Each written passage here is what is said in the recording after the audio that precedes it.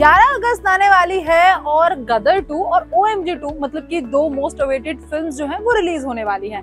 लेकिन आपको इस वीडियो में हम बताने वाले हैं कि गदर 2 रिलीज़ होने से पहले ही काफ़ी कमाई कर चुकी है। एडवांस बुकिंग की बात कर रही हूँ मैं ऑफकोर्स हेलो फ्रेंड्स आप देख रहे हैं फिल्मी बीट और मैं हूँ आपके साथ आंचल सनोरिया।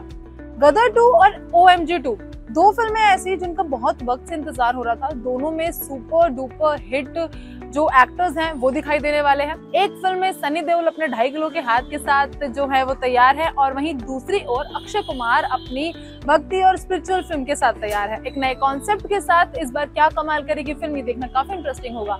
लेकिन सवाल यहाँ पर ये है कि क्या सनी देओल का ढाई किलो का हाथ ओ एम पर भारी पड़ेगा? वेल ऐसा होता हुआ तो दिखाई दे रहा है। बात करें एडवांस बुकिंग की तो गदर टू की बात मैं पहले करना चाहूँगी, क्यूँकी ओ एम का तो खाता ही लेट खुला है। गदर टू की अगर मैं बात करूँ तो 76,000 टिकट्स अभी तक उसकी सोल्ड हो चुकी है। जी हाँ अब तक सभी मल्टी कॉम्प्लेक्सेस के कलेक्शन को मिलाकर गदर टू की ऑलमोस्ट 76,000 टिकट्स जो है वो ऑलरेडी बिक चुकी हैं और ये जो नंबरिंग है ना वो बढ़ती जा रही है। तो 11 अगस्त से पहले यानी कि अभी दो दिन और है और इस बीच शायद ये कमाई और भी ज़्यादा हो सकती है। वही अगर बात करें ओ एम जी टू के एडवांस बुकिंग की तो उसका खाता ही लेट खुला और इस वजह से उसकी भी एडवांस बुकिंग शुरू तो हो गई है लेकिन इतनी ज़्यादा अभी नहीं हुई है।